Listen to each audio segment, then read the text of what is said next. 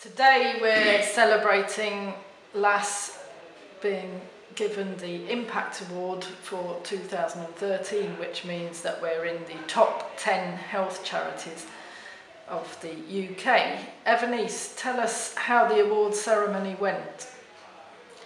The award ceremony was just amazing. It was an eye-opener, really and to be chosen as one of the top 10 health charities in the whole of the United Kingdom. And uh, I know four, about 420 charities entered, and we're in the top 10 of that. It was a very humbling uh, affirmation of what LASS stands for. LASS uh, being Leicestershire AIDS Support Services, and the work that we do to help the community, especially HIV positive people and their families. So that the night of the award was just amazing because we were in London and um, at the Museum of Natural of Science, Science and uh, all the charities were there and uh, each charity had uh, a film which they had done before and these were shown and after uh, each film was shown for at least two charities then the people would go up from the charities to give a one minute or two minute speech about how they felt and what their charity stands for. Um, I was given the opportunity to stand up and say something for us. I went up with Jenny and uh, we talked about the work LASS does we were very well received in London. I felt very emotional afterwards because the uh, encouragement was just so great.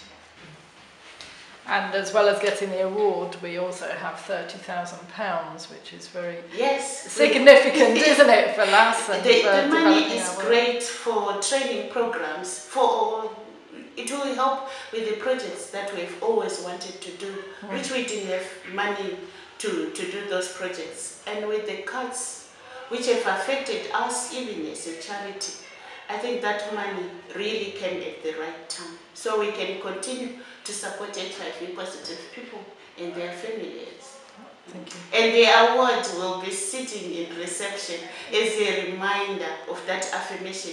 And uh, like I said on that day in the speech, getting this Impact Award actually pushes us at LASS, uh, staff, workers, volunteers, and uh, board of trustees to work harder because if we've been given an award for being one of the best run health charities, it means we've only got to up our game. We can't go back. Yeah, absolutely. So um, the award is not the end of a long process, it's actually the beginning of new work, really, isn't it? Yes, because uh, LASS aims to empower HIV positive people and their families so that they can stand up and have a life, a life that's as near normal as possible. Break down the barriers of stigmatization and barriers of, um, I think, low self-esteem due to the stigma around HIV. And LASS aims to uh, help HIV positive people. These are most of the programs that we have to say of course, I am HIV positive, but I'm still a person. I can still have a full life. I can still uh, realize some of my ambitions and be successful. And uh, this money actually will help us, and the award will help us to say, look, we were assessed, we were really assessed that we are doing things in the rightful manner. So we will continue to encourage HIV positive people to stand up, be confident, and be whoever they want to have. Like someone said in the film, they said, oh, lessons helped me to get my life back. Mm. And the other thing we do is to provide community HIV testing, because of course we need to make sure that people know their HIV status. Yes. And we work with communities to raise discussions about HIV, to try and normalise mm. HIV, because if we can't find people's diagnosis or people don't know their diagnosis, they don't know that there's help there for them. There's medical help and also social help.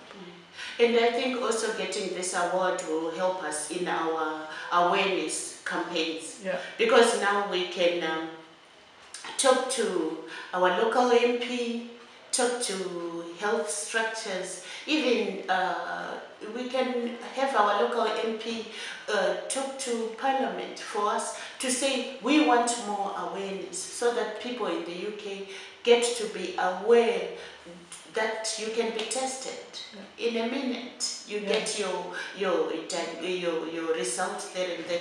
This is the only way when we can uh, help reduce the spread of HIV.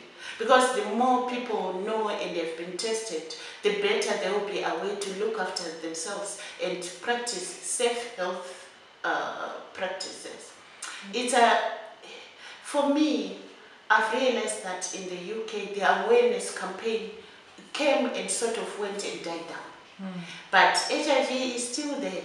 It, it is still continuing, and I think awareness will help us maybe to get to a place whereby we have the younger generation coming up, and the number of HIV cases will be reduced.